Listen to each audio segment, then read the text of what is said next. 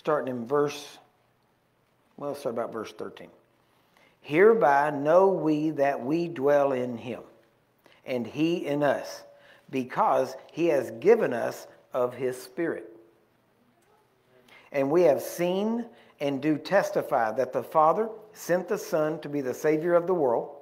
Whosoever shall confess that Jesus is the Son of God, God dwelleth in him, and he in God. And we have known and believed the love that God hath to us. God is love. And he that dwelleth in love dwelleth in God, and God in him. Herein is our love made perfect, that we may have boldness in the day of judgment, because as he is, so are we in this world. Now, notice how he tied all that back together. But the part there that I, I wanted to get to is this, real quick. Our, we have boldness because we know now that we have been changed, and now as he is, so are we in this world. You got that? That gives you boldness. You get bold when you know that you know, right? And he said, and we have known and believed the love of God, the, the love that God has toward us. Now, notice this. He said, we, this love, you go back into chapter 3, and he says, Beloved, behold, what manner of love the Father hath bestowed upon us that we should be called the sons of God.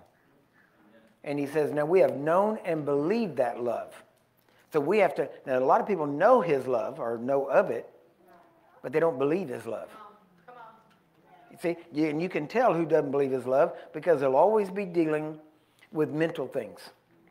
I'm no good. I'm, I'm, I'm, i have shame. I have guilt. I have condemnation. All that kind of stuff. See, you, you may have heard about his love, but you don't know it and believe it. At some point, you got to decide to believe it. You say, you know what?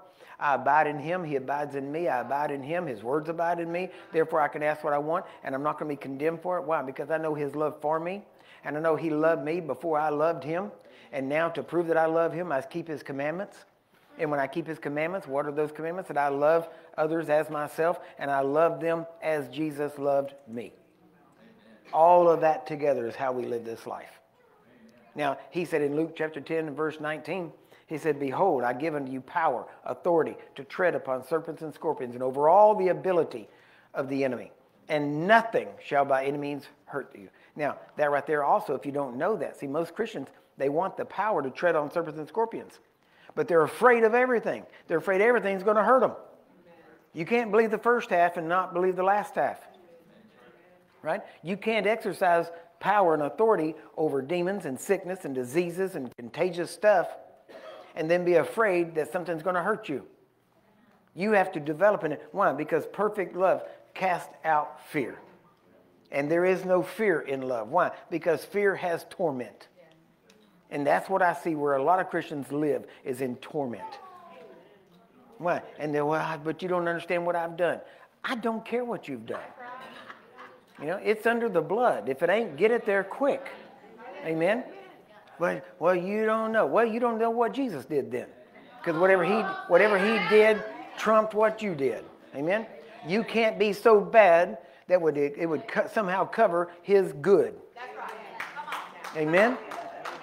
But at some point, you just got to break out of that and just decide, you know what? I'm going to know and believe His love. I'm going to act like He actually loves me. I'm going to talk like He loves me. I'm not going to talk like He doesn't love me. I'm not going to talk like I'm still defeated and all this stuff because He didn't leave me defeated. He pulled me up out of defeat, put me in victory, and this is the victory, even our faith. And I have faith, so I'm walking in victory. Amen? And then whenever the devil shows up, you just keep talking that way. But I'll tell you what, you start talking that way now, he won't show up as much. Why? Because he don't want to tie in with you whenever you're in, in, in all the fullness of God. Right? He looks at you and you got that armor on. For all he knows, that's God in that armor. And the only way he knows it's you is whenever you raise that thing up and go, here I am. Yeah. That's the only way he knows. Otherwise, just keep that helmet on and all he sees is the armor of God walking around. And let me tell you, he don't want to mess with the armor of God. Amen? Amen. But you have to know. But now listen, when you know, know and believe this, you start asking. And you start looking for stuff to ask for other people. Why? Because you know that if you ask, you will receive. If you seek, you will find. Amen? But you have to decide to move into this.